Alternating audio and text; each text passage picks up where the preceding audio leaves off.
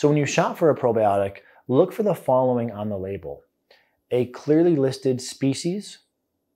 the number of colony forming units, a manufacture date or expiration date, a list of other ingredients so you can determine if there are other allergens, fillers, or irritants, and that the company follows what's known as GMP or good manufacturing practices, and also evidence that the product has been tested by a third party.